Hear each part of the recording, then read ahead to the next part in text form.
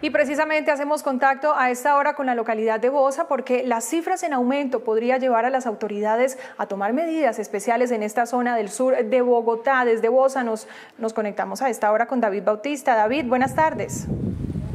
Muy buen día a todos los que se conectan a través de Noticias Capital. Estuvimos hablando con la alcaldesa de Bosa y esto fue lo que nos manifestó. Desde la alcaldía local estamos trabajando primero con el incremento de operativos de inspección, vigilancia y control. Estamos buscando un trabajo articulado con empresarios y comerciantes de la localidad y en especial estamos incrementando las actividades de pedagogía en calle.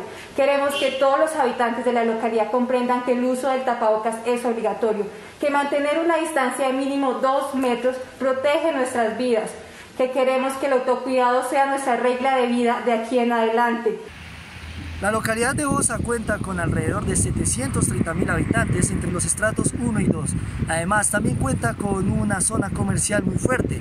Estuvimos hablando con algunos de los residentes de Bosa y esto fue lo que nos manifestaron. Preocupante para todos los que vivimos en esta localidad porque eh, si esto se está propagando así tan fuerte, en unos días va a colapsar este, este, esta zona. Por la desobediencia que, te, que tiene la ciudad. La gente no respeta y no se cuidan porque si salen deben de cuidarse. Pienso que es algo muy preocupante ya que es una zona muy comercial y eso nos afecta a todos. Desde la localidad de Osa para Noticias Capital informó David Bautista. Gracias.